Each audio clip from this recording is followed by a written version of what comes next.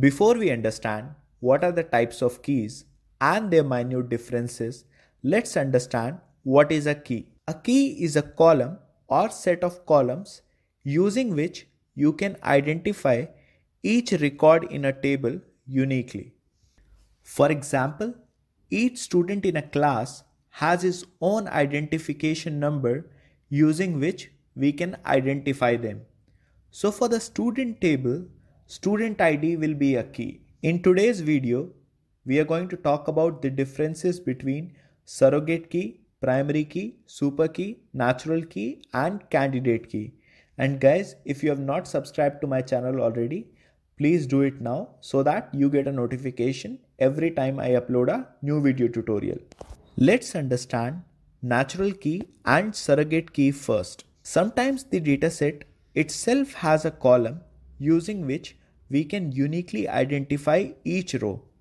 For example, every citizen in US gets a unique social security number and every citizen of India has unique Aadhaar card number.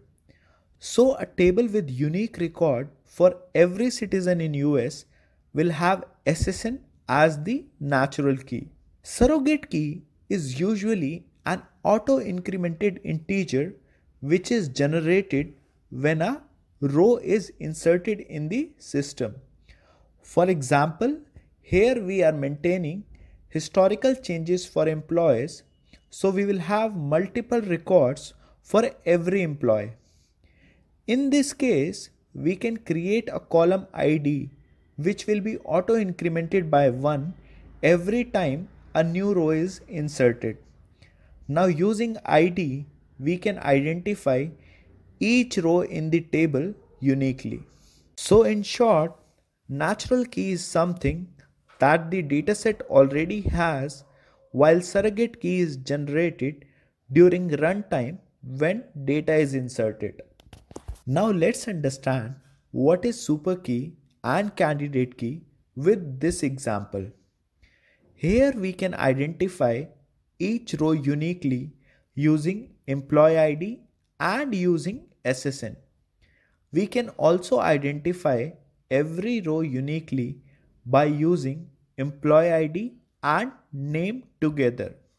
For example, we will have a single record for 123 and ABC, a unique record for 124 and XYZ. But here the column name is actually redundant because we could just use the column employee ID to identify each row uniquely. So super key as the name suggests is superset of all possible combinations using which we can identify every row uniquely. Here apart from employee ID or SSN, we can also use the combination of these two with name or a combination of all three for unique identification. So these six mentioned combinations are super key for this table. Now candidate key is the minimal super key with no redundant attributes. So for this example, only employee ID and SSN are candidate keys.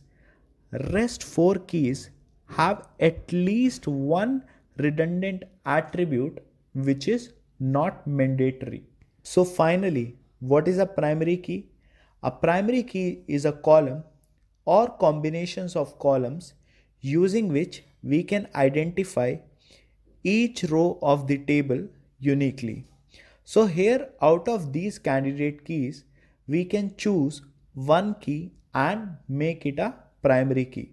The important thing to note here is that this table has six super keys and two candidate keys. Out of the two candidate keys, we can choose only one key and make it as the primary key of that table. The important point to note here is that a table can have only one primary key. The primary key may be composite, but we can have only one primary key for a table. So hopefully after watching this video, it is clear what is surrogate key, what is natural key, what is primary key, what is candidate key and what is super key. In case if you still have any questions, drop a comment below and I'll be more than happy to clarify that. Thanks a lot guys for watching this video and I'll see you in the next one.